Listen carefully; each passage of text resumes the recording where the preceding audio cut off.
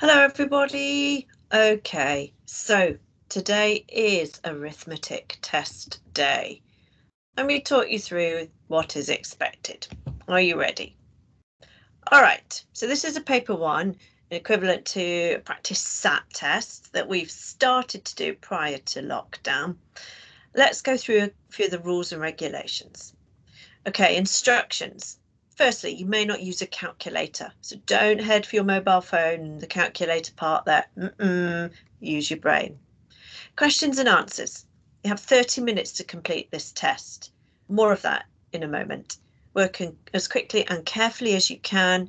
And then it says about putting your answers in the box. Well, obviously you don't have the paper in front of you, so you might want to pause the screen so you can answer each of the questions and then write your um, answers and your workings out in your homework books. Okay, all answers should be given as a single value. For questions expressed as common fractions or mixed numbers, you should give your answers as a fraction or a mixed number rather than converting it, say, to a decimal. If you can't do a question, it says go to the next one. You come back to it later. And if you finish before the end, please make sure you check your work. But I guess that's not appropriate. Check your work anyway. Now, in terms of marks, the number under each box at the side of the page tells you the maximum number of marks for each question. And in this test, the long uh, division and multiplication questions are worth two marks. So you will be awarded two marks for a correct answer.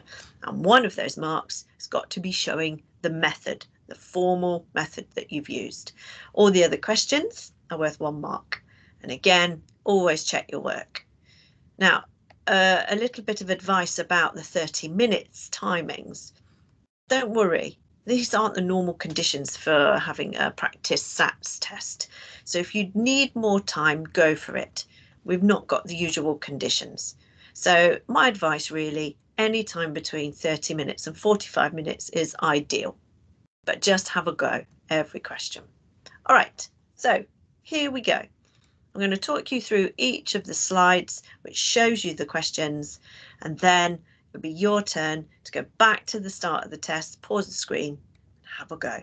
Here we go. First part of the test. Here we have questions 1 to 6. 7 to 12. Questions 13 to 18. Questions 19 to 23 two marker there on question 23.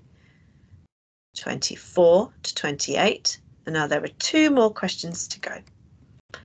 Question 29 and 30. So at this point, this is the end of the test.